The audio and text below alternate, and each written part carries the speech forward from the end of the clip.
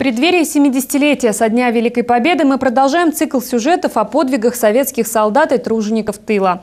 Герой нашей рубрики сегодня – ветеран войны Николай Азарнов. Прошел почти всю Европу и встретил День Победы под Берлином. История фронтовых подвигов солдата Первого Украинского фронта в материале Екатерины Ковальчук.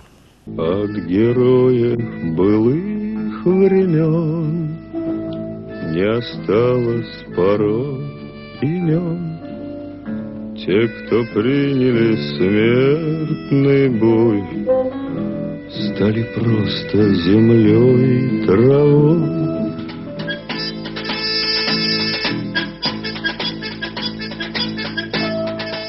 Великая Отечественная война началась, когда будущему связисту Николаю Азарнову исполнилось 16 лет. На фронт его призвали лишь спустя два года. 25 февраля 43 года нас вызвали в Ворошиловской, тут был сейчас он Саратовский район, и вечером мы отправились на поезде Татищево. Там переночевали, утром пошли Октябрьский городок, там есть. Вот там карантин мы прошли, ну мы вот был месяц, а некоторые там больше были, кто раньше пришли.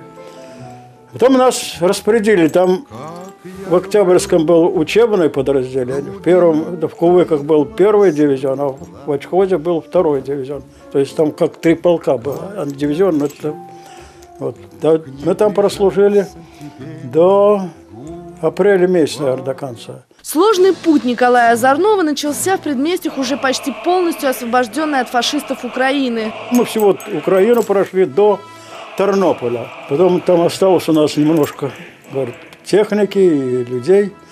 И мы пришли, это мы Шепетовку освобождали, это родина Островского.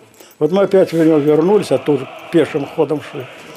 Здесь, ну, я не знаю, сколько месяцев, два, что ли, три. Потом в Проскуров нас перегнали, Клешковцы, потом в Ивахновцы. В Ивахновцы мы тут уже вооружились, новую технику. Практически без остановки на сон и отдых бойцы Первого Украинского фронта начали освобождение Европы от армии Третьего Рейха. В начале 45 -го года Николай Озорнов с товарищами уже приблизились к Берлину. Ветеран войны вспоминает одну из последних спецопераций по разгрому фашистов в своей фронтовой жизни. Вечером я как раз вот, у командира полка НП был на чердаке. Он говорит, Озорнов, иди посмотри в стереотрубу. Говорит, что ты видишь? Я говорю, ну вон там люди бегают, вот там что-то мост какой-то наводит. Вот, говорит, люди там далеко бегают от немца, а мост наводит наш. Вот сейчас мост наведут они, мы, говорит, пойдем наступляем. Вот мы, ну, уже стемнело, и мы через этот мост проехали. Вечером мы уже были на немецкой территории. То есть наш корпус, первый вошли, перешли границу, и первый вошли в наш корпус в Берлин. День Победы фронтовик Николай Озорнов встретил уже не в Берлине, а в его предместьях. 2 мая бойцов перебросили в глубинку Германии. Здесь же, в одной из немецких деревень, фронтовик и узнал о конце войны. 8 мы только поужинали. Старшина приходит, говорит, мужики, война кончилась. То есть мы 8 узнали, что война кончилась. Ну, там у нас были заначки. Федя Потудник говорит, ну-ка, сынок, лезь под машину. Я говорю, что там я ночью вижу. Я ему помогал. Говорит, ну там привязывал канистр, помнишь? Достали эту канистру, помахонько, потохонькой.